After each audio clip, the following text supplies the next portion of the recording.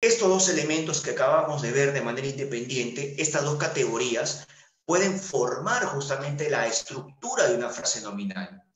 Recordar que una frase, una frase, una frase es, en este caso, una unidad sintáctica, al igual que la locución, al igual que la proposición, al igual que la oración.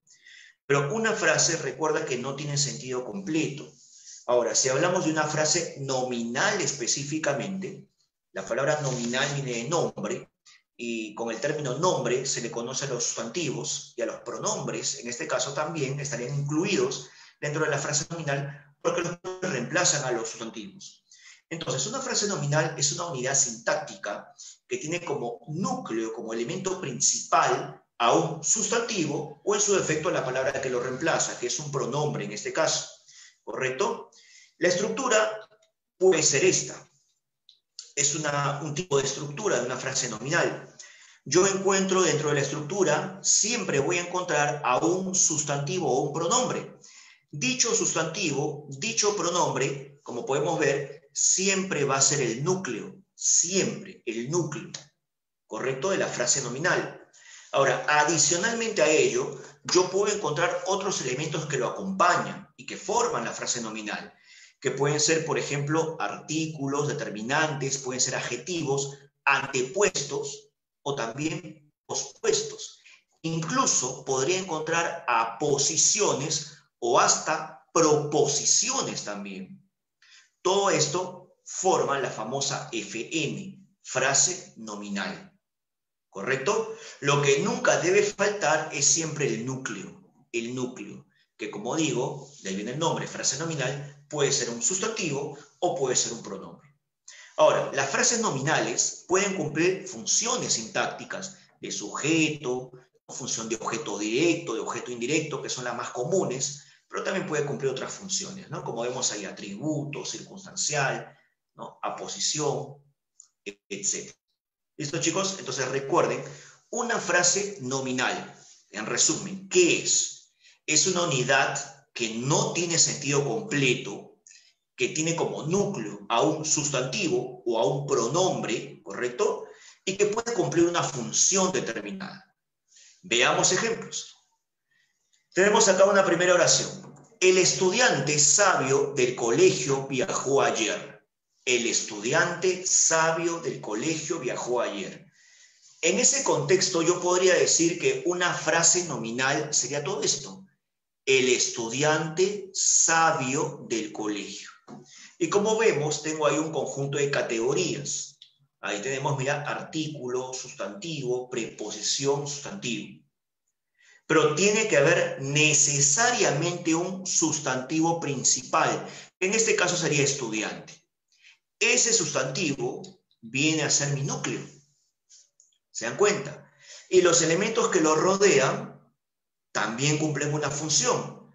Él sería MD, sabio por ser adjetivo también es MD, y del colegio, esta frase del colegio, al estar encabezada por una preposición, sintácticamente hablando, funciona como un, a ver, vamos a ver por ahí que están diciendo, como un modificador, muy bien, correcto, muy bien, como un modificador indirecto, como un MI.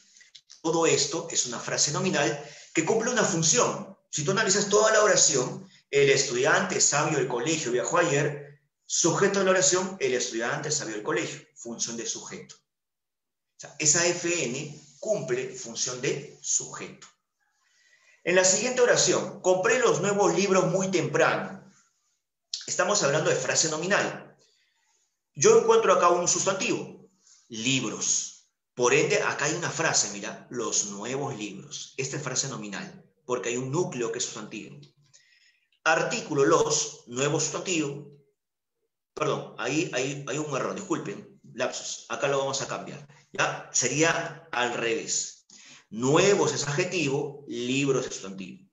Ahora, esto, esto esta frase, mira, se, se dice también que es una frase nominal porque tiene como un núcleo principal, en este caso, a un sustantivo que sería, en este caso, particular, lo vamos a cambiar acá, sería en este caso particular el término libros.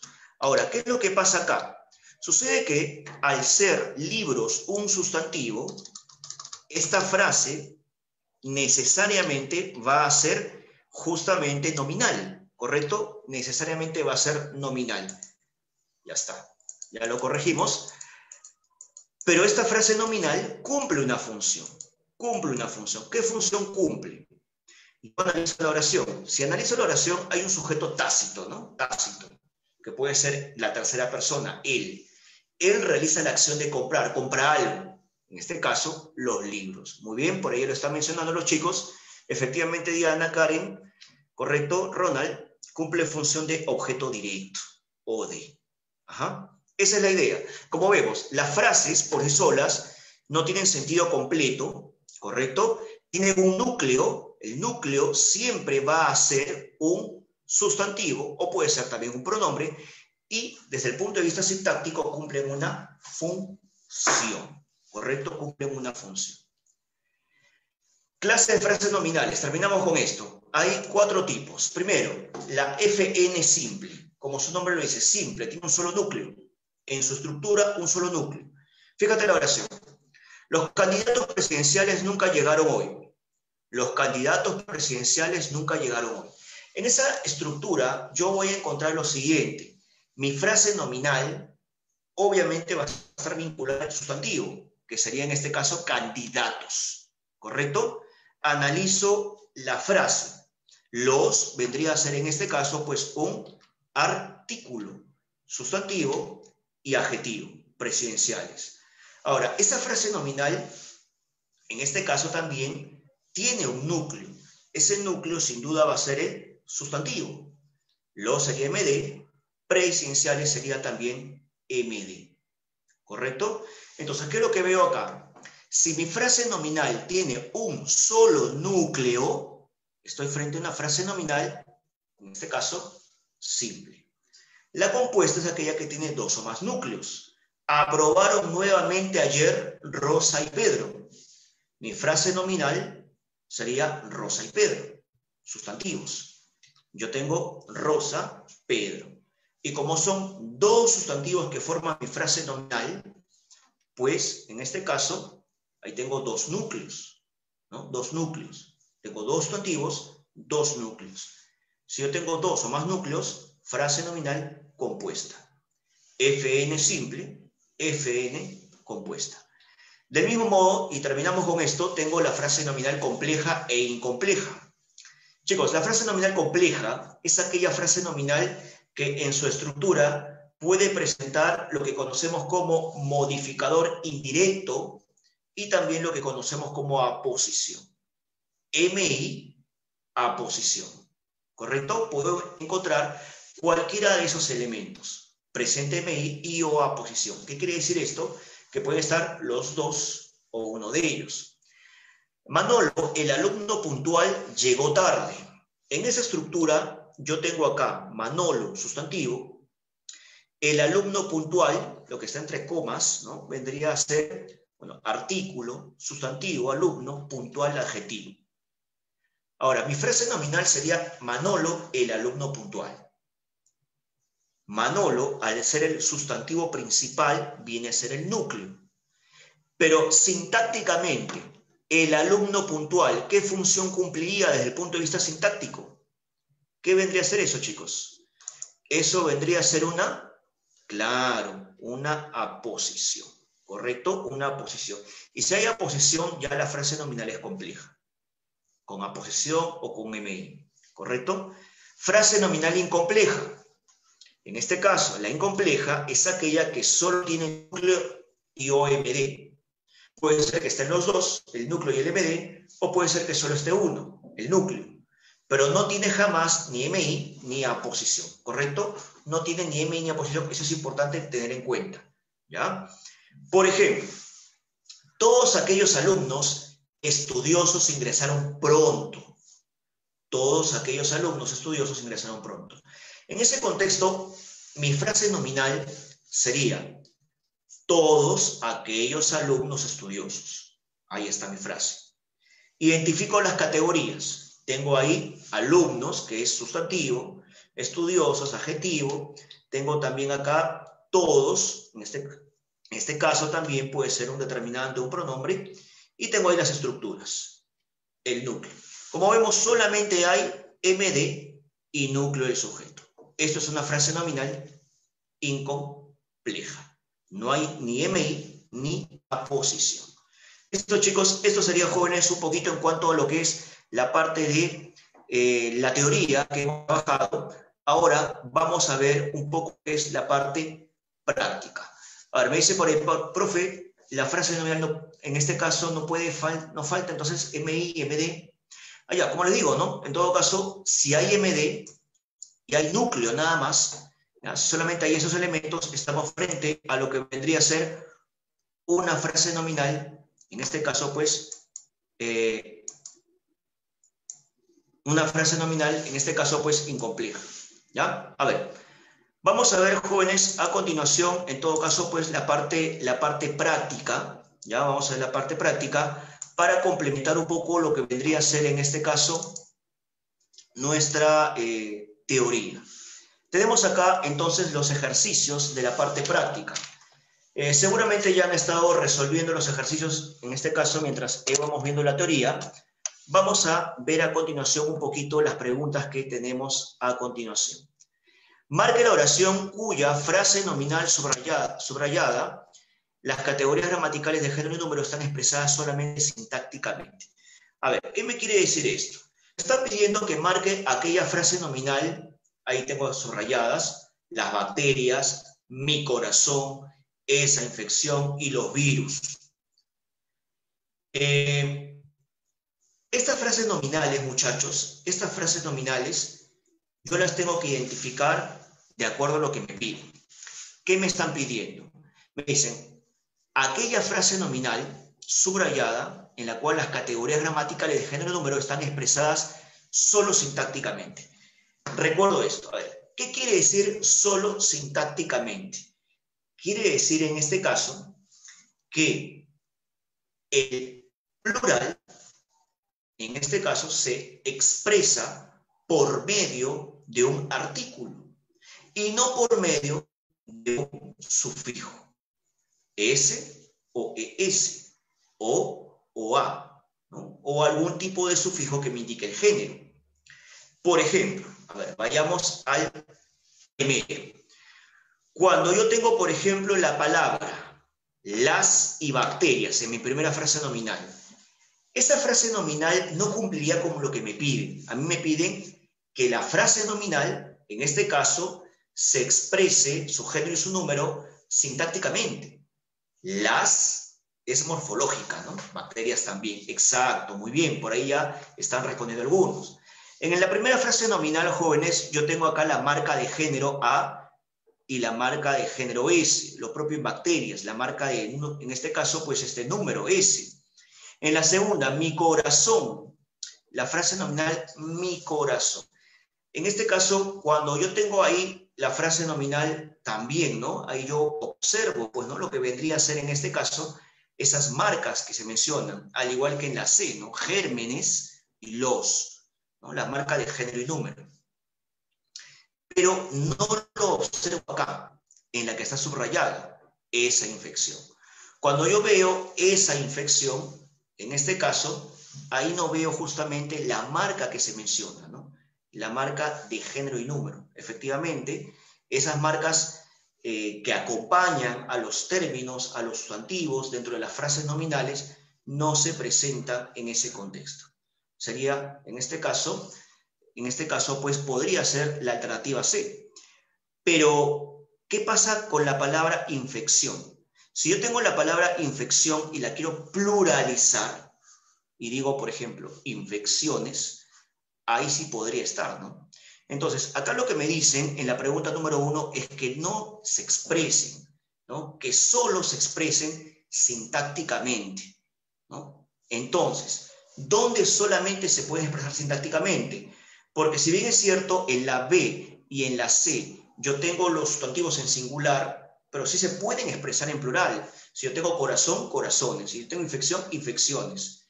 Solamente se pueden expresar en este caso, o no se puede expresar en este caso, en la D, cuando tengo la palabra virus. Virus es un término que no tiene plural. Se expresa sin marca de género y número. ¿Correcto? Sería la D, efectivamente. A ver, ¿cómo diferencio en este caso una posición especificativa? Allá, una posición, bueno, hay dos tipos de posiciones, en todo caso por ahí mencionan la posición especificativa y la posición explicativa. La posición especificativa con respecto al MD, pregunta Enrique. Ya, sencillo. Eh, esto lo vamos a ver en el tema de sujeto, pero te adelanto rapidito. La posición especificativa es aquella posición que tú la identificas porque siempre es un término propio, un sustantivo propio. En cambio, el MD es un adjetivo. Lo vas a diferenciar principalmente por las categorías, ¿correcto? Si yo tengo, por ejemplo, el alumno estudioso, estudioso es un MD. El alumno estudioso ingresó, estudioso es un MD, ¿correcto? Pero si yo digo, por ejemplo, el alumno Pedro ingresó, Pedro es una posición especificativa porque es un término propio. ¿Ya? Ahí va la diferencia, ¿correcto? Entonces, Vuelvo a repetir, en todo caso, para resolver tu duda, este, Enrique, por ahí también preguntan algunos estudiantes, y Yesenia también preguntaba, sobre el pronombre A ver, ¿cómo distingo un pronombre átono, MI o MD? Ya, a ver, ahí creo que nos estamos saliendo un poquito del tema, pero en todo caso les menciono. Lo vamos a ver ahorita, en, en todo caso, en la oración, pero a ver, les voy adelantando. ¿Por qué se dice modificador directo? ¿Por qué se dice modificador indirecto? Porque la acción verbal recae de manera directa o recae de manera indirecta. Por ejemplo, a ver, mira, si yo digo, eh, yo me lavo la cara, me lavo la cara. Si yo tengo la oración, o de esa oración tomo simplemente me lavo, ese me vendría a ser un OD. ¿Por qué un OD? Yo realizo la acción de lavar. Yo me lavo. ¿no? Yo me lavo a mí mismo. Yo realizo la acción de lavar. ¿Qué lavo? ¿A quién lavo? A mí. Si yo tengo la oración, yo me lavo, ese me sería un objeto directo. Pero si tengo, por ejemplo, la oración, a ver, por ejemplo, yo me lavo la cara, yo realizo la acción de lavar, lavo.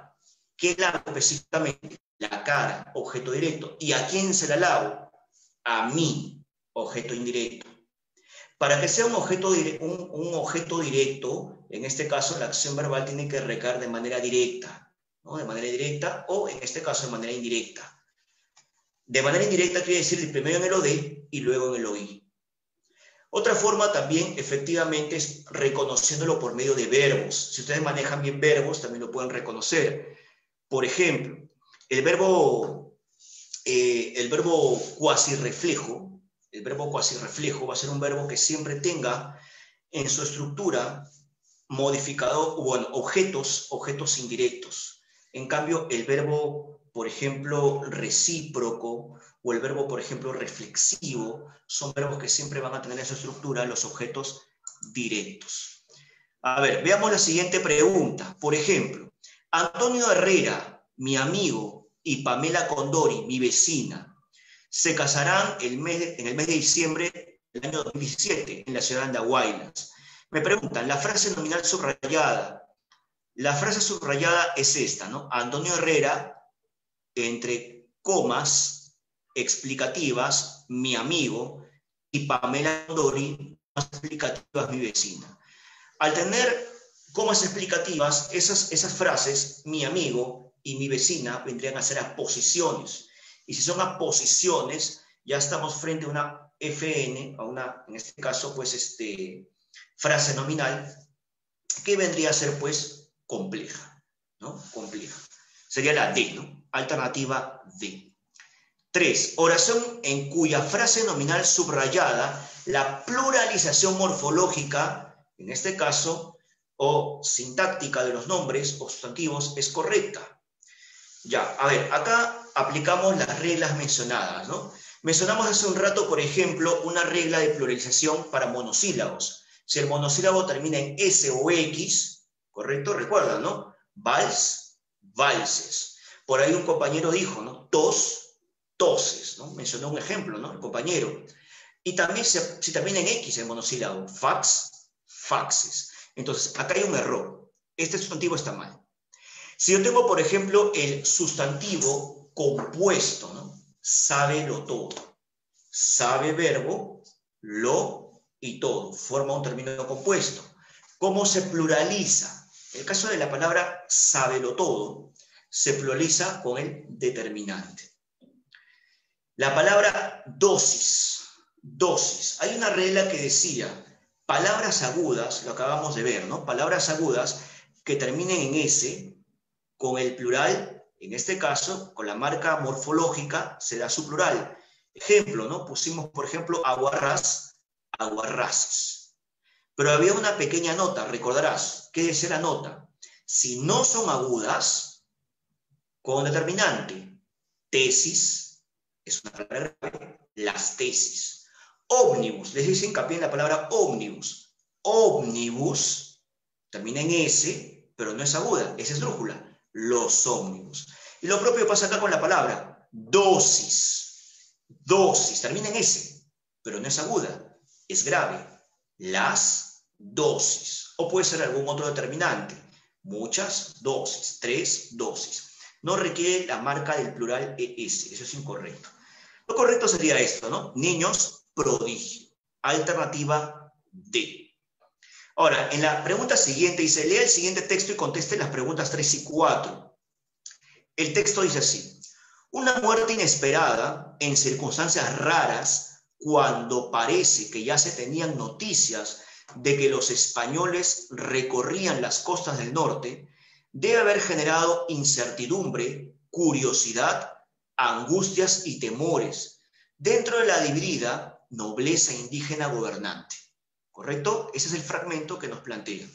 Según la estructura de las unidades sintácticas subrayadas del referido texto, el núcleo de la frase nominal puede expandirse mediante, a ver, veamos, tengo ahí una serie de alternativas, determinantes únicamente, complementos solamente, modificadores directos, modificador directo y o modificador indirecto.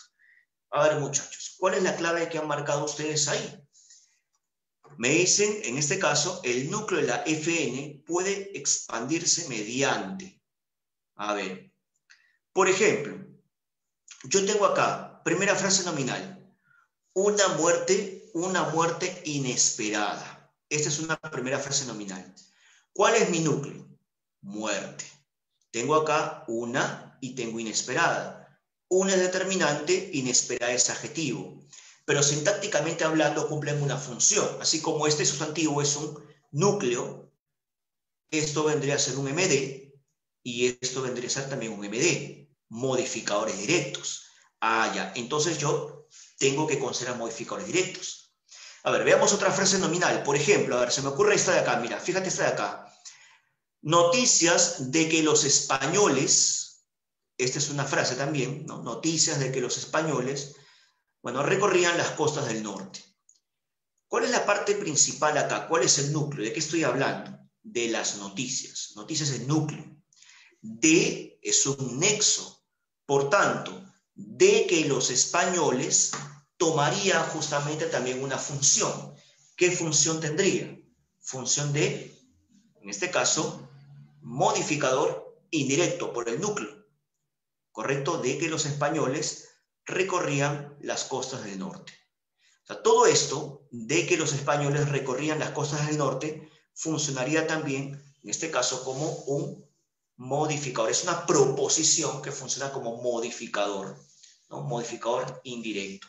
Entonces, yendo a la pregunta que me, están haciendo, ¿qué elementos permiten que el núcleo se expanda en las frases? Dos, básicamente. El modificador directo y también el modificador indirecto. Sería la alternativa D. ¿Correcto? Creo que hasta ahí vamos bien, ¿no? Con la alternativa. Sería en todo caso la alternativa D, los modificadores. Ahora, muy buena, muy buena este, interrogante ahí de repente para plantearlo. Por ahí veo que los chicos están planteando la C. Dice modificadores directos y indirectos. Y acá dice modificadores directos y o indirectos. ¿Por qué la D y no la C, como por ahí estaban planteando los chicos? ¿no? Por ahí veo que Kelly, Diana, Karen han planteado la C. ¿Cuál es la diferencia entre uno y otro? La diferencia está en que si yo marco la C, dice modificador directo y indirecto, quiere decir que en todas las frases nominales, en este caso, habrían los dos. Y claramente en esta primera frase nominal que analizamos, una muerte inesperada, no hay MI.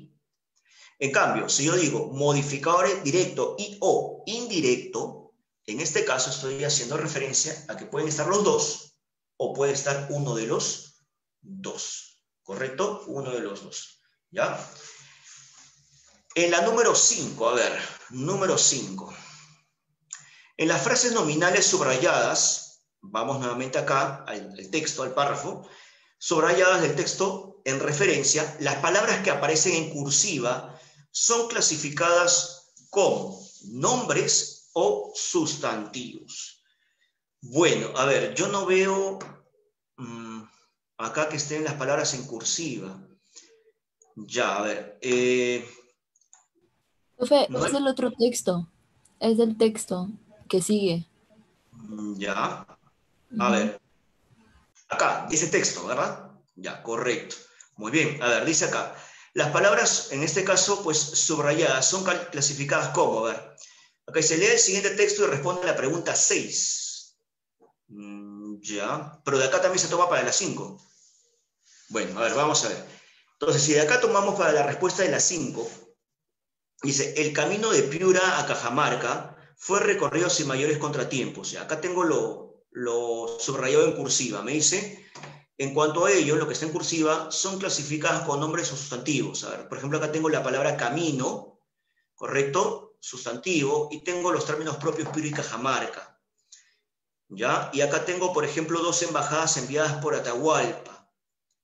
Tengo la palabra embajadas y tengo la palabra Atahualpa.